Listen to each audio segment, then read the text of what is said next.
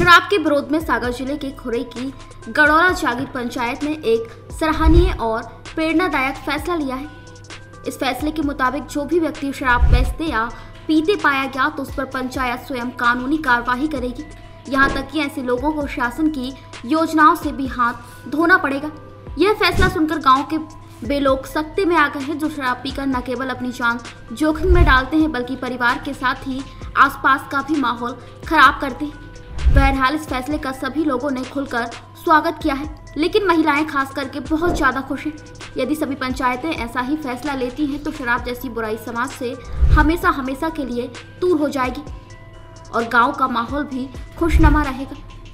मुख्यमंत्री की शराबबंदी की मंशा भी पूरी हो जाएगी। इसी के चलते शासन ने हाथे भी बंद कर दिए मैं शत्रुघ्न सिंह ठाकुर, ग्राम पंचायत गड़ौला जागीर सरपंच, प्रतिनिधि।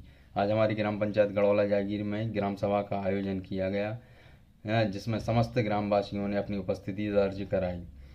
और ग्राम सभा में निर्णय लिया गया है कि हमारे ग्राम पंचायत में कई जगह अवैध अवैध शराब की बिक्री होती है। अवैध शराब की बिक्री रोकने के लिए हम सब ग्रामवासियों ने दृढ़ संकल्प लिया है। और ये निर्णय लिया गया है कि हमारी ग्राम पंचायत में यदि कोई व्यक्ति दारू बेचता हुआ पाया गया तो उसको शासन की सभी योजनाओं से वंचित कर दिया जाएगा और उस पर कानूनी कार्रवाई भी कराई जाएगी। धन्यवाद।